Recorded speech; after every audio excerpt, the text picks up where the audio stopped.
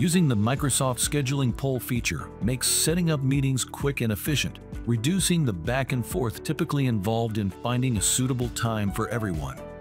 To use the Microsoft Scheduling Poll, open a blank email in Outlook.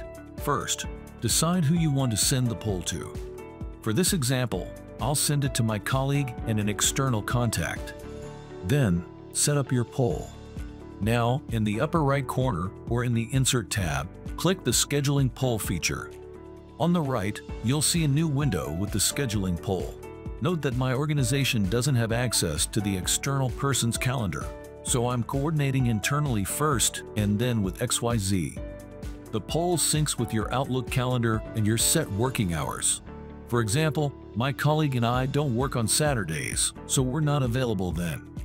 Ensure your work hours are set in Outlook before using the scheduling poll.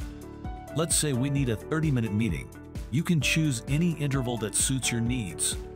I'll select a few time slots for the external person to choose from. Once done, click Next. You can enter a location if it's an in-person meeting, but it defaults to Microsoft Teams, which works for us.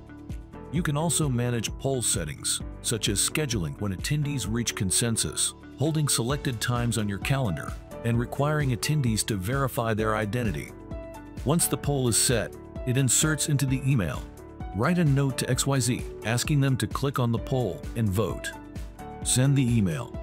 On the recipient's end, this is what XYZ will see. They can mark their preferred times and vote. It's important for all attendees, including the sender, to vote on preferred times. Once everyone votes, the meeting is automatically scheduled at the first available time.